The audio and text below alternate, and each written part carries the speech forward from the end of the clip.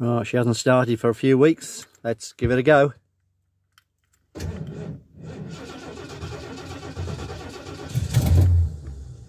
Oh, nearly. There she goes. A little bit slow at the start, but uh, she got there.